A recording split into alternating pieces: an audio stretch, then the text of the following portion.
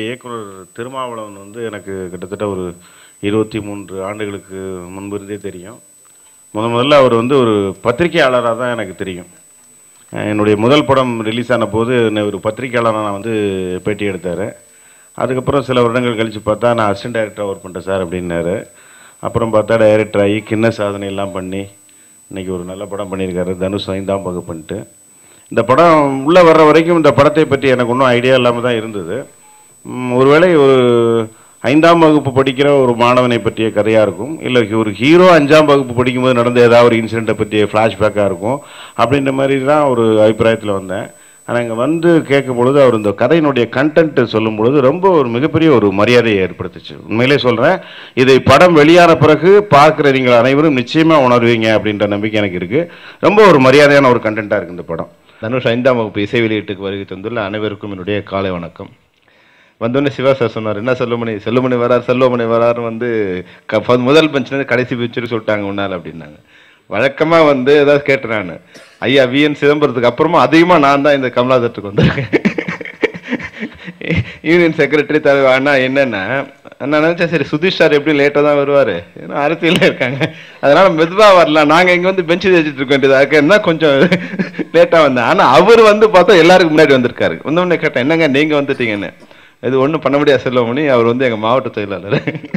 ஒரு மாவட்டமே போயிடான்னு இது திருமாவளவன் வந்து பழகுவதற்கு மிகச்சிறந்த நண்பர் இனிய நண்பர். நல்ல எந்த விதமான வேலையாக இருந்தாலும் வந்து அந்த ஈகோ இல்லாமல் வந்து அடிமட்ட ஊழியன் மாதிரி இருந்து அந்த வேலையை வந்து அது சங்கமாக இருந்தாலும் சரி செல் நண்பாக இருந்தாலும் சரி சினிமாவாக இருந்தாலும் அந்த அடிமட்டத்திலேருந்து அவர் அந்த வேலையை செய்வார். எந்த விதமான ஈகோவும் இல்லாமல் வளர்ந்த பையனா சின்ன பையனா இன்னும் எப்படி வேணாலும் அவர் அவர் நம்ம பயன்படுத்தலாம். அப்போ அதனால தான் நீங்கள் மேடையில் பார்த்தீங்கன்னா வந்து நிறைய பேர் வந்து இந்த இதுக்கு வந்து வந்திருக்கிறதுக்கு காரணம் வந்து அவருடைய திருமாவளவருடைய நட்பு தான் வந்து நட்பாக வந்தாலும் இந்த வந்து விக்ரம் சார் சொன்ன மாதிரி படம் பார்க்கும்போது ட்ரெய்லர் அவர் சொன்னார் ஏன்னா அவர் கதை தெரிஞ்சதால் அவருக்கு சொல்லியிருக்கலாம். ஆனால் உண்மையாகவே ட்ரெய்லர் வந்து என்னவோ ஒரு புதுசாக இருக்குது அப்படி எதையோ பார்க்க எதையோ சொல்ல வராங்கங்கிற விஷயத்தை வந்து ட்ரெய்லர் அவ்வளோதான் இருக்கணும். அது வந்து மொத்த டீட்டெயில் அதில் தெரிஞ்சிடக்கூடாது.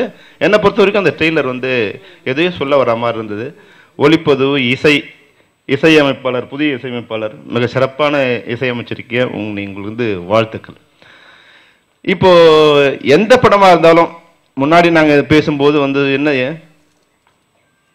சின்ன படங்கள் தயாரிப்பது இன்றைக்கி ரொம்ப ஈஸி அதான் வந்து நாங்கள் சொ தொடர்ந்து நாங்கள் வந்து இயக்குனர் விக்ரமன் கூட புதிய முயற்சி எடுத்தார். இன்றைக்கி வந்து இண்டஸ்ட்ரியில் ஒரு பெரிய ஒரு புதிய அலையை இன்னைக்கு வந்து ஃபார்ம் பண்ணியிருக்கு. ஒரு புதிய ரெவல்யூஷன் என்னென்னா ஒரு பட்ஜெட்டில் ஒரு ஒரு கோடி ரூபா ரெண்டு கோடி ரூபா இருந்தால் மிகச்சிறந்த த பட திரைப்படத்தை ஒரு நல்ல இயக்குனர் நல்ல தயாரிப்பாளர் தயாரித்து விட முடியும். தமிழ் திரையுலகில் இன்றைக்கி வந்து அவ்வளோ வந்து டெக்னிக்கல் எக்ஸலன்ஸ் இருக்குது இருக்கிற வசதியை வச்சுட்டு மிகச்சிறந்த திரை திரைப்படங்களை தயாரிக்க முடியும். இது வந்து இன்றைக்கி வளமான ஒரு வ- இதுக்கு எடுத்துக்காட்டு.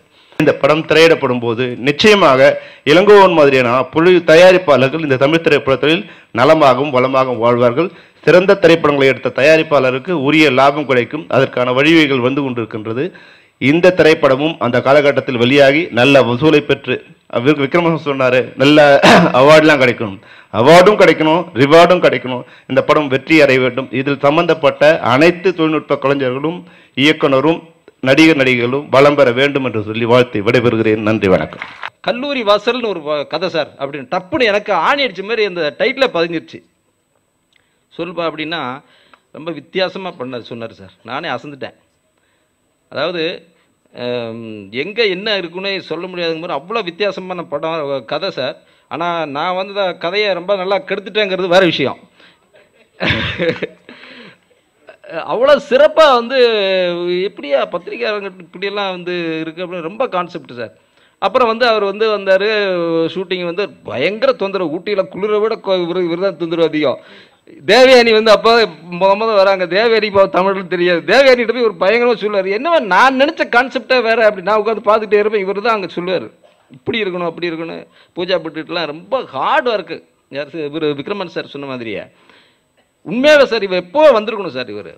இந்த மிக சிறந்த கலைஞனுக்கு வந்து பெரிய அங்கீகாரம் கொடுத்து இப்படி ஒரு அழகான படத்தை வந்து இந்த தயாரிப்பாளர் கொடுத்த முத முத வந்து தயா- தயாரிப்பாளர்களுக்கு எனக்கு நன்றி நான் தெரிவிச்சுக்கிறேன்.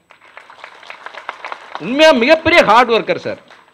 இயக்குநர்களுக்கு இயக்குனர்களுக்கு வந்து அந்த எண்ணத்தை வந்து விரிவுபடுத்தக்கூடிய சக்தியையும் பொருளாதாரத்தையும் வந்து சில தயாரிப்பாளர் கொடுத்தாங்கன்னா உண்மையாகவே சார் தமிழ் இண்டஸ்ட்ரி வேர்ல்டு லெவலில் வந்து சிறப்பாக இருக்கும். ஏன்னா எல்லா இந்தியாவில் இருக்கிற மேக்ஸிமம் ஸ்டேட்ஸில் இருக்கிற எல்லா டைரக்டர்ஸும் மேக்ஸிமம் ஓரளவுக்கு எனக்கு தெரியும் சார். இங்கே இருக்கிற மாதிரி அபூர்வமான சக்திகள் எங்கேயும் இல்லை. அதனால் ஊக்கமோ பயங்கரமான ஊக்கமாக கொடுக்கணும். பொருளாதார ரீதியாகவும் நீங்கள் வந்து நல்லா ஹெல்ப் பண்ணிங்கன்னா மிகச்சிறந்த படைப்புகளை இவங்க கொடுப்பாங்கன்னு சொல்லி நன்றி சார். இது எப்படி வந்து உள்ளே வர்றாருன்னு தெரியாது. எப்படி அந்த பொறுப்பு போகுதுன்னு தெரியாது. என்னோட படம் ரீசன் படம் தேசிங்கராஜனில் கூட ஏதோ ஒரு நாள் சிங்கம்பிள்ளையை பார்க்கறதுக்காக வந்தார். அப்போ தான் வேறு ஏதோ கேரக்டர் போய் பார்க்கலாம்னு சொல்லிட்டு ஒரு நாள் வாப்பா நடிக்க அப்படின்னா. அப்புறம் என்னன்னு தெரியல. த்ரோ அவுட்டாக அந்த படம் ஃபுல்லாக திரும்ப தான் இருந்தாப்புல. இப்படி உள்ளே போகிறாருன்னு நமக்கு தெரியாது. அந்த மாதிரி ஒரு எல்லா விஷயத்துலையும் தலையிடுவார். என்னோடய அசிஸ்டன்ஸ் வந்து யார் சார் அவர்? அவர் டைலாக்லாம் சொல்லிகிட்டு இருக்காரு. சொல்லுவார்ப்பா டைரக்ஷன் பண்ணாத மாதிரி பார்த்துங்க. அப்படின்னு. அப்படின்னு சொல்லுவேன். அந்த மாதிரி எல்லா ப- ரொம்ப ஒரு ஒரு யதார்த்தமான ஒரு மனிதர். ரொம்ப நல்ல மனிதர். இன்றைக்கி வந்து இவ்வளோ பேர் வந்திருக்காங்க அப்படின்னா அது எல்லாமே வந்து திருமாவுக்காக வந்தவங்களாக தான் இருக்கும். இந்த திருமா சொன்னார் இந்த மாதிரி ஒரு நாள் வந்து கதை கேளுப்பா அப்படின்னு சொல்லி சொன்னார். சாங் ரெக்கார்டிங்க்கு கூப்பிட்டாரு. என்னால் போக முடியல. ஆனால் விக்ரம் சார் சொன்னாங்க நல்ல நல்ல கான்செப்ட்டு ரொம்ப அழகான ஒரு கான்செப்டை இந்த மாதிரி எடுத்து பண்ணியிருக்காரு திருமா அப்படிங்கிறப்ப ரொம்ப சந்தோஷமாக இருக்குது ஏன்னா விக்ரம் சார் வந்து சாதாரணமாக அந்த மாதிரி வார்த்தைகளை சொல்ல மாட்டார். ஸோ அப்போ வந்து இந்த படத்தில் இருக்க இன்றைக்கி வந்து ஆடியோ ரிலீஸில் கேட்ட பாடல் எத்தனையுமே ரொம்ப சிறப்பாக இருக்குது ட்ரெய்லர் ரொம்ப நல்லா இருந்துச்சு. இந்த படம் வெற்றி அடையத்துக்கான அத்தனை விஷயங்களையும் திரும்ப பண்ணியிருக்காப்புல. திரும்ப வெற்றி பெற இந்த டீமும் வெற்றி பெற வாழ்த்துக்கிறேன் நன்றி வணக்கம். ரொம்ப மகிழ்ச்சியான தருணம். உண்மையான மேடை. ஒரு இசை வெளியீட்டு விழாவுக்கு ஒரு படம் வரணும்னா அதுக்கு எவ்வளோ உழைக்கணும்னு எனக்கு தெரியும். திரும்ப எப்போ பார்த்தாலும் இயங்கிக்கிட்டே இருக்கக்கூடிய ஒரு மனிதர். ரொம்ப பிடிச்ச ஒரு நண்பர். அவர் இயக்கி இருக்கக்கூடிய இந்த படம் மிகப்பெரிய வெற்றி பெற இறைவனை வேண்டுகிறேன். நன்றி வணக்கம். திருமாவளவன் அவர்கள் வந்து என்னுடைய ஒரு ஸ்கிரிப்ட்லேயும் ஒர்க் பண்ணியிருக்காரு. நான் முதல்ல பதினஞ்சு வருஷம் பத்திரிகை அப்புறம் எங்கள் டெலி சீரியல்ஸ் அப்புறம் ஒரு ஃபீச்சர் ஃபிலிம் தான் டைரக்ட் பண்ணியிருக்கேன். அதை இவங்க வேற ஒரு இவங்களை மாற்றி சொல்லிட்டாங்க. அடுத்த படத்துக்கான முயற்சிகளில் இறங்கும்போது தான் நிறைய இண்டஸ்ட்ரியில் ப்ராப்ளம் வந்தது. இப்போது இயக்குனர் சங்க தலைவர் திரு விக்ரமன் அவர்கள் மூலமாக தயாரிப்பாளர்கள் சங்கத்தோடு சேர்ந்து சின்ன படங்கள் எல்லாம் வெற்றி படைய பெறணும். ப்ரொடியூசருக்கு போட்ட பணம் வரணும். இங்கே பிஸ்னஸ் எத்திக்ஸே இல்லாமல் இந்த சினிமா இண்டஸ்ட்ரியில் நிறைய விஷயங்கள் நடந்துட்டுருக்கு. அதெல்லாம் முறைப்படுத்தணும்னு சொல்லி ஒரு நல்ல முயற்சியை ஈடுபட்டிருக்காங்க. அந்த டீமில் நானும் இருக்கேங்கிறதுல ரொம்ப பெருமைப்படுறேன். இந்த இது மூலமாக நல்ல நல்ல ப புதிய தயாரிப்பாளர்களும் இயக்குனர்களும் உருவாங்க. அதுக்கு என்னுடைய அட்வான்ஸ் வாழ்த்துக்களை